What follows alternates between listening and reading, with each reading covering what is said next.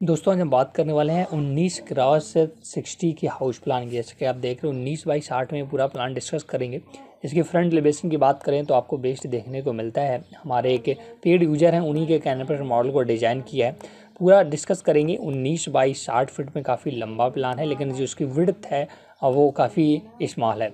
तो उन्नीस बाई साठ फिट का पूरा प्लान डिस्कस करेंगे। यहाँ पर दो साइड ओपन है फ्रंट में और बैक में। तो बैक साइड और अगर बात करें बैक साइड के एलिवेशन की बात करें तो ये बैक साइड का एलिवेशन है। जहाँ पर आपको एक डबल डोर मिलता है बाहर आने के लिए पीछे। और एक जो पीछे रूम है, उसमें भी एक डोर और विंडो दिया ये बैक साइड का पूरा डिज़ाइन है। और इस साइड में अगर हम बात करें साइड में ओपन एरिया है तो इसलिए यहाँ पर विंडो दिया हुआ है जिससे वेंटिलेशन का प्रॉपर यहाँ पर ख्याल रखा गया है। तो फ्रंट का जो मेन रोड है आपका, ये इधर है, जो मेन गेट आपका है, ये है। और ये साइड में एक बेडरूम है जिसका डोर और एक विंडो मैंने दिया है। ये स्टेयर्स है, ये स्लोप है जिससे आप ऊपर जाएँगे, कार पार्किंग का भी यहाँ पर इंतज़ाम रखा गया। ये पूरे आपके रेलिंग है जो आप देख पा रहे होंगे। तो फ्रंट एलिवेशन ये है, अगर हम बैक की बात करें तो बैक आप इधर से आते हैं तो सेम ही जैसा फ्रंट एलिवेशन का बालकनी है, वैसा ही बैक का भी बालकनी, बस डिफरेंट आपका ये है कि यहाँ पर गेट जो है आपका वो डबल डोर का लग जाता है, मेन गेट। और सिमिलर वही प्लान पूरा आपको देखने को मिलता है। तो चलो इसी प्लान को पूरा डिस्कस करेंगे उन्नीस बाईस आठ फिट में जो पूरा बनाया है मैंने। और ये हमारे सब्सक्राइबर हैं और हमारे, उन्होंने एक पेड सर्विस का इस्तेमाल किया, उनके कहने पर इस पूरा मॉडल को डिज़ाइन कर रहा हूँ। तो डिस्कस करने से पहले आपसे गुजारिश करेंगे, अगर आपने अभी तक इस स्मॉल हाउस प्लान को सब्सक्राइब नहीं किया तो ज़रूर कर लें, साथ साथ ज़रूर प्रेस करें, जिससे आने वाले सभी वीडियो आप लगातार देख सकें।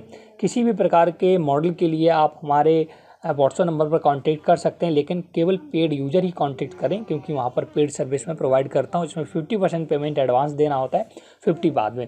तो आज का जो मॉडल उन्नीस बाईस साठ फिट में उसे डिस्कस कर लेता हूँ मैं। तो सबसे पहले इसके ग्राउंड फ्लोर की बात करूँगा मैं जूम करके इसे दिखा देता हूँ। जैसे आपको रियलिस्टिक व्यूज़ का रेलिंग का देखने को मिल जाए ये देखिए स्टील का रेलिंग यहाँ पर मैंने क्रिएट किया है, और ये आपका छोटे छोटे प्लर्स आते हैं, मार्केट में मिल जाते हैं, उसका मैंने वाइट कलर का रेलिंग दिया है और ये इसका मेन डोर है जो आप एंट्री कर पाएँगे जहाँ से कार पार्किंग करेंगे। साथ साथ ये आपका विंडो है रूम का और बेडरूम का। तो अब हम बात करते हैं इसके ग्राउंड फ्लोर की। तो ये इसका ग्राउंड फ्लोर है, देखिए, यहाँ पर रूफ हट गया है। तो ये तो मेन डोर यहाँ से एंट्री करेंगे। आप जैसे अंदर जाते हैं तो ये देखिए पूरा पार्किंग का एरिया लगभग बीस फुट का है।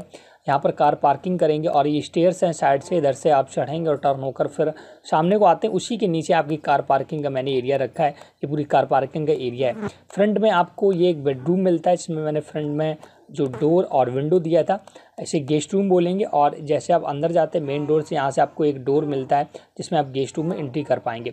इसके बाद ये आपका देखिएगा मेन डोर है, अंदर जाएँगे, ये एक विंडो दिया है, पूजा घर यहाँ पर मैंने क्रिएट किया है। इस विंडोज़ ऐसे बेडरूम से अंदर जाते हैं तो आप इस वाले एरिया में आ जाते हैं। इस वाले एरिया से आपका किचन में एंट्री आप देखिए, यहाँ पर तीन पोर्शन देख पा रहे होंगे, एक ये पोर्शन है, एक ये एक ये। तो ये आपका किचन है, जो कि डोर मैंने दिया है इस साइड से ये डोर दिया है और ये आपका कम्बाइंड लेट एंड बात है ये की डोर यहाँ से दिया है। और ये एक लेट एंड बात है ये आ, मैंने जो यूज़ किया है वो इस बेडरूम के साथ अटैच्ड है। तो इस बेडरूम में एंट्री के लिए आपका ये विंडो है सॉरी डोर है यहाँ से आप एंट्री करेंगे और इसी बेडरूम से अटैच्ड ये लेट एंड बात मैंने क्रिएट किया है।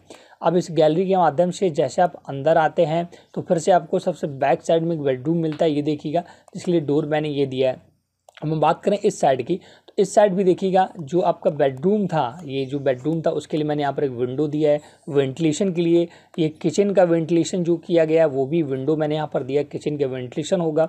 इसके बाद जो बैक साइड में दोनों बेडरूम हैं, उनके लिए भी अलग अलग मैंने यहाँ पर विंडो दिया है, जिससे प्रॉपर वेंटिलेशन होता रहे। साइड में थोड़ा स्पेस है, जगह पड़ी है, इसलिए यहाँ पर विंडो मैं दे पाया।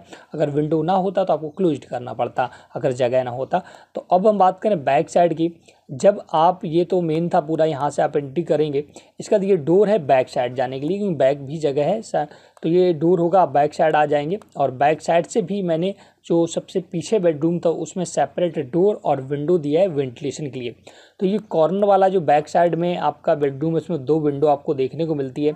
ऐसे फ़र्स्ट जो फ्रंट में आपका गेस्ट रूम है, उसमें भी दो विंडो देखने को मिलती है। तो ये ओवरऑल अगर हम बात करें जूम करके दिखाना चाहूँगा तो ये देखिएगा बेडरूम वगैरह। यहाँ पर आपका जो विंडो का डिज़ाइन है, वो थोड़ा सा हट के मैंने क्रिएट किया, आप देख पा रहे होंगे। बहुत ही आसानी से ये आपका विंडो का पूरा डिज़ाइन है प्लर टाइप का बना हुआ है स्टाइलिश विंडो और ये डे डोर है। ये गेट पूरा आपका यहाँ पर मेन गेट है कार पार्किंग एरिया ये मैंने ऑलरेडी आपको डिस्कस कर चुका। ये आपका पूजा घर का भी एरिया देखने को मिल जाता है। तो ये उन्नीस बाई साठ फीट में थ्री बेडरूम के साथ किचन के साथ late and bath car parking बेहतरीन सा मॉडल डिज़ाइन करके मैंने आपको दिया है। और जो हमारे पेड यूज़र थे, उनके ये पूरा मॉडल उनको मैं प्रोवाइड कर चुका हूँ और अभी उनकी वीडियो के माध्यम से समझा रहा हूँ। फ़र्स्ट फ्लोर की बात करें तो फ़र्स्ट फ्लोर पर कुछ भी नहीं, साढ़े तीन फीट का चारों तरफ़ बाउंड्री है।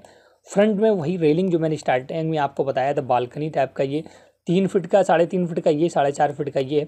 और ये आपका स्टाइलिश स्टील का रेलिंग और ये वाला यहाँ पर डिज़ाइन देखने को मिलता है। इसका चारों तरफ़ साढ़े तीन फिट का बाउंड्री और बैक साइड भी आपको वही डिज़ाइन सिमिलर, जो फ्रंट में डिज़ाइन है, सिमिलर आपको बैक साइड भी मिलता है। तो ओवरऑल उन्नीस बाई साठ में मतलब कि लगभग बारह सौ स्क्वायर फीट से थोड़ा कम बारह सौ स्क्वायर फीट में पूरा एरिया ये आपका बनकर रेडी हो जाता है। तो कैसा लगा हमें ज़रूर बताएँ, साथ साथ वीडियो को लाइक शेयर ज़रूर करें। कोई भी डाउट है तो कमेंट करें ज़रूर पूछ सकते हैं। वीडियो को शेयर करें चैनल को सब्सक्राइब नहीं किया तो ज़रूर कर लें। Thanks for watching